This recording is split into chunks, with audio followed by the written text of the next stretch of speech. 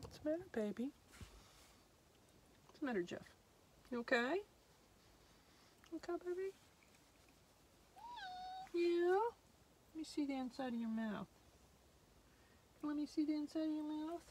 No? Oh, no. Hi, everyone. I hope you guys are doing great. He's a sweet boy. Um, last time I talked to you guys, I was in Roswell, and um, from there I went to Carlsbad for four days, four beautiful 70 degree days, and um, I just basked in the sun and thawed out. is basically what I did. It was wonderful. But I ended up going back to Roswell. The thing is, uh, I took Sammy to a vet there last October when he was really sick. And uh, I decided that Jeff needed to go to see the vet again because I didn't know what was going on. The vet in St. Louis was pretty much stumped when the extractions didn't work, so she just put him in a second round of medicine, and I'm not there for her to look at him again, so I needed to find another vet. I decided to take him to the clinic I had taken Sammy to. It's a nice place, and um, they have walk-in hours, so it was very convenient. So Jeff and I went to the vet again last week. Uh, right off, the doctor there told me that um, uh, that the extractions only help a very small percentage of cats.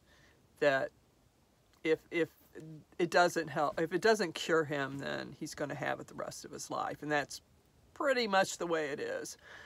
Um, so he just has to take medicine the rest of his life.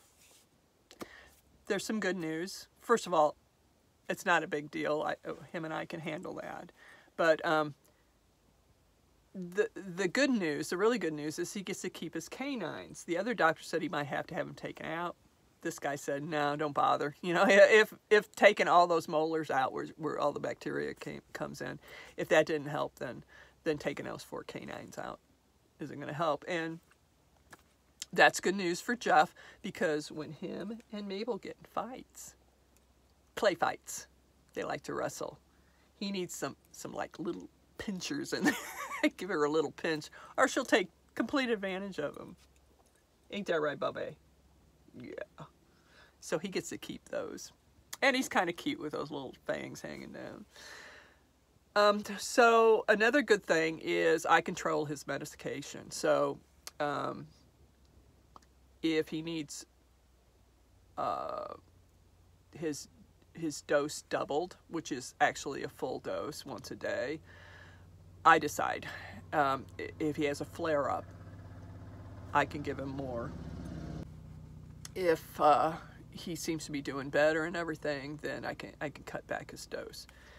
Every time I've cut back his dose so far, he's had a flare up. So I don't know. They they said he's just really he's gonna have issues with this. you know, so uh, poor Bubby. He's just such a sweet boy. You are you are sweet.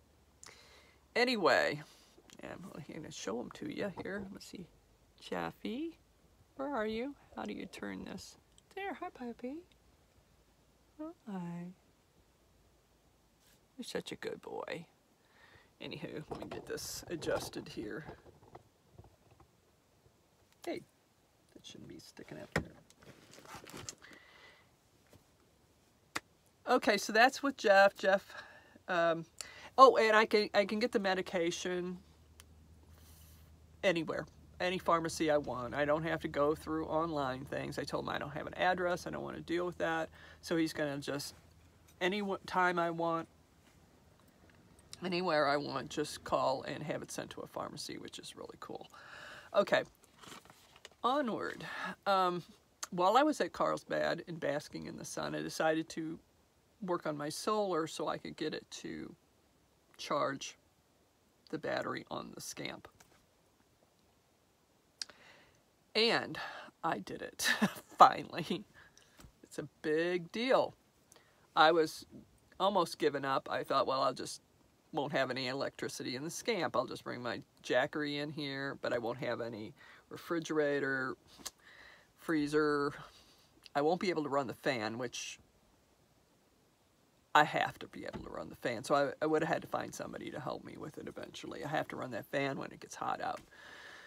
And uh, if I wanted heat in the, at night, I have propane, but I also have to have electricity in the battery to run the fan. So uh, luckily, it all worked out. I, and the cool thing is I did it myself. I figured it all out myself. It took me a month and a half, but I did figure it out. And if it gets nice enough on a consistent basis, I'll show you what I did. I really was just piecing it together the way I thought it should go. And, and it ended up working, so that's cool. Um, you know I always have notes here. So I do have solar in my for my van now, or excuse me, for my scamp. That's so cool. The other thing is I got my garden going. And here is a picture of it.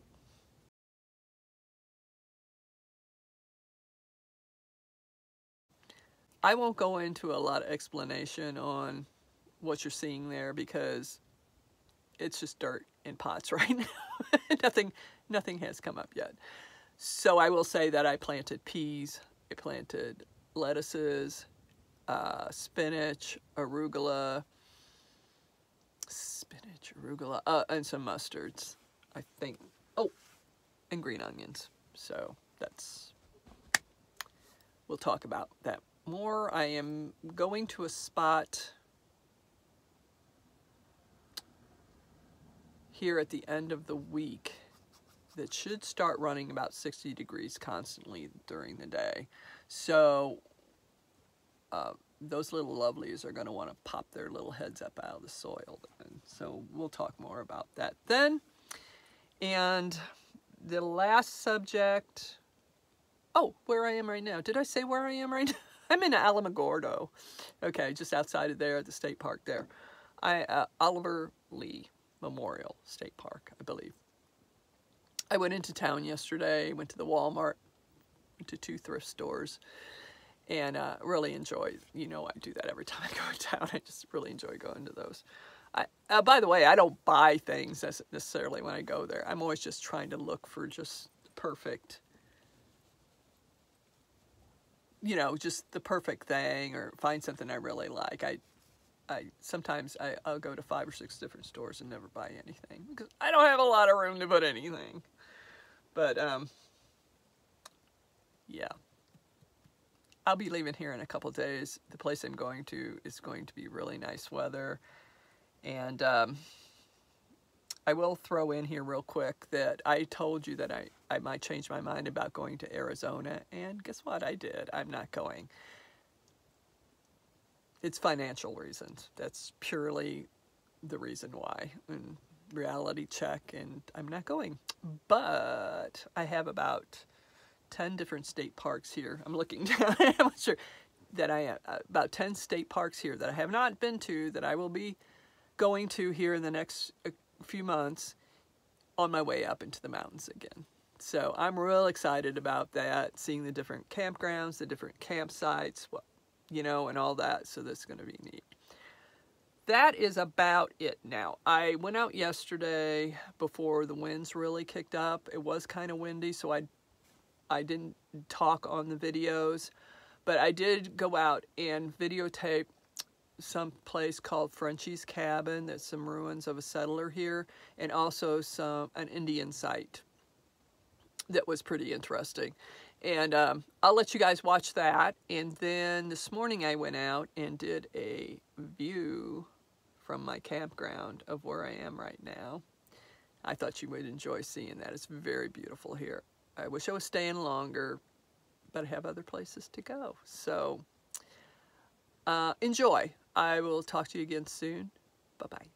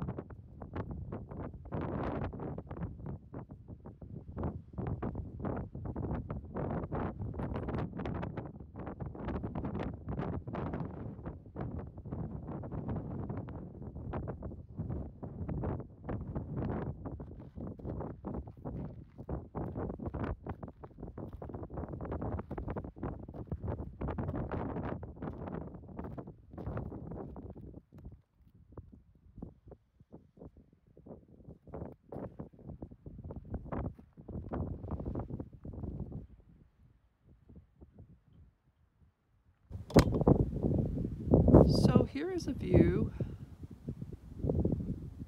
from the campground I'm at right now. This is Oliver Lee State Park and beyond.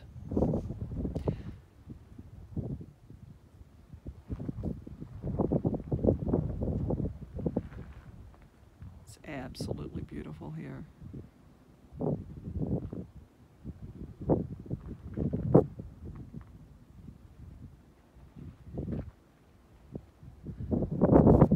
Definitely one of my top three right now.